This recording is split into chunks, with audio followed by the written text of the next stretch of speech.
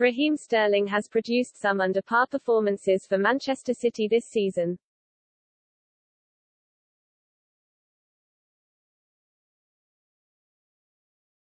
A side that is so used to dominating in English football, or at a minimum making the European spots, Arsenal have been starved of continental involvement on the grandest stage for too long as a club of their size.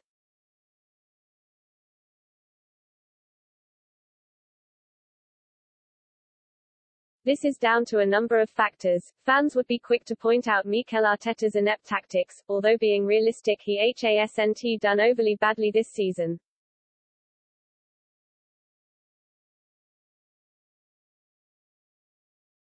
But the club's spending in recent years has been rash to say the least, a £75 million splash on Nicolas Pepe, who at best has been a mediocre signing, was absurd given he only had two decent seasons at Lille in League One.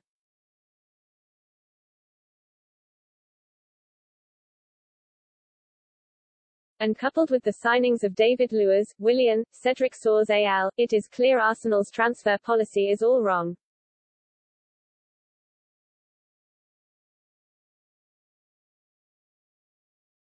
The club need to return to their old identity of the mid-Wenger era by signing talents that have either excelled in Europe and have time on their side, such as Samir Nasri, Andre Arshavin and Thomas Vermaelen, in order to steady the ship or better still, players with time on their side who have excelled in England.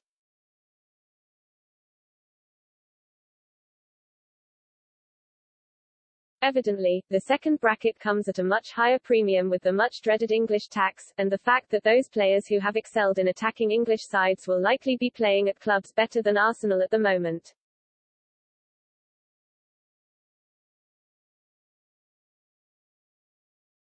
But with Raheem Sterling's future uncertain, Stan Kroenke should be making a real effort to sign the Manchester City winger.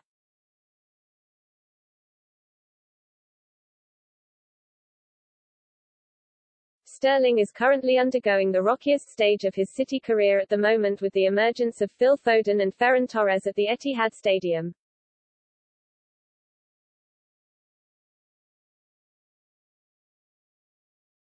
Having not played as well as he is usually capable of, there is an inkling that Sterling may be sold to free up wages for a younger, more exciting talent.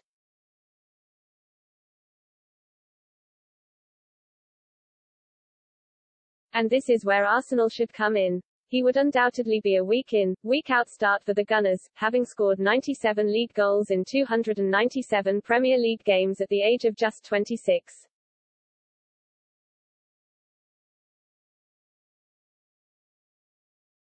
He clearly still has his talent. He had 20 Premier League goals in 2019-20, just three goals from top scorer Jamie Vardy.